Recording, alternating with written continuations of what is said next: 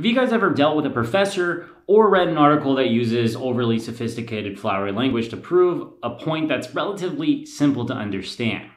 Most of the time is just to make themselves sound more sophisticated because of the fact that they feel like they need to do that in order to better validate their original point as opposed to giving us the Twitter version of the situation.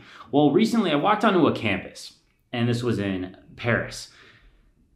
It's supposed to be one of the more advanced schools in the fields of political science. And I say that not as like a rhetorical waving my willy down trying to like validate myself in any sort of reason, but rather instead kind of provide context as to where we are. Now, the reason why I mention that is because there's only a handful of us selected for said program who are across the world, most of which uh, the people here don't know English as their first language. Now, does that mean that they are more or less intelligent than the rest of us as a result of this type of obstacle? Well, I don't really think so.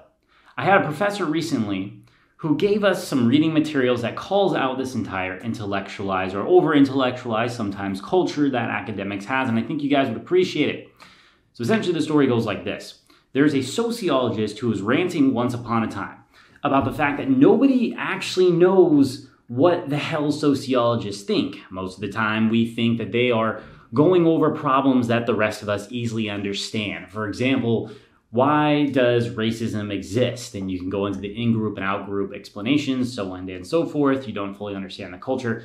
You get the point. However, what this person was saying was the reason why sociologists do not succeed is because they do not branch out and discuss what they're learning with the average person supplemented with the fact they don't branch out into other areas of academics as well, like reach out to people with different specializations. Now, one of the reasons why he said this was because of the fact that academics use language that is a little bit more intellectual or long and sophisticated and not relevant to the average person. So the average people don't want to read about the very things that they're discussing.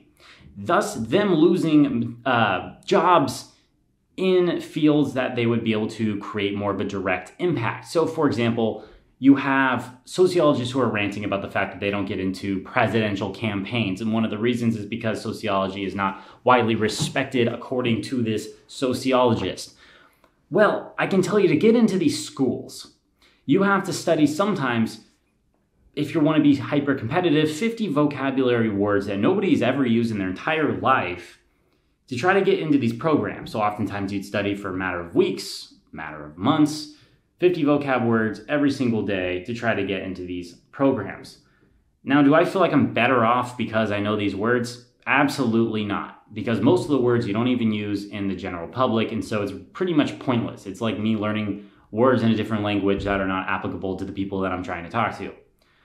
Okay, well, with that said, I have to agree with this individual. As somebody who's stepping onto the campus with these people who are supposed to be, you know, relatively intelligent, none of us know what any of these scholars are saying. As a matter of fact, this individual, Henry Molotich, I probably butchered it. It's like M O L O T C H. Anyway, I, ju- I just want to show his name or throw his name out there to give a little bit of love to him. But what he was saying was look, not even these professors know what each other are saying most of the time. And also, on top of that, most of these peer reviewed journals make no sense. And his explanation or his rationality for why people shouldn't use such intellectual words is pretty simple. And I think it's interestingly enough to make me want to make a video about this. And his rationality for not using that language is pretty simple. If it takes you 10 times longer to read a article that uses more flowery language as opposed to using the same amount of time and reading a few more articles that use less flowery language. Are you more intelligent because you read the one that uses fancier language? Or are you more intelligent from reading more articles?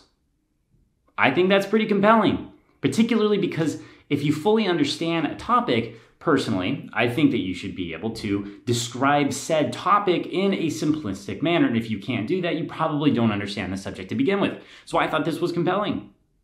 Particularly because I was reading that article that was recommended for me as a way to procrastinate, an article that was 50 pages long using flowery language that nobody understands, that this individual probably had to use a thesaurus to even look up to even understand because of the fact that he wants to sound smarter than what his concepts originally imply.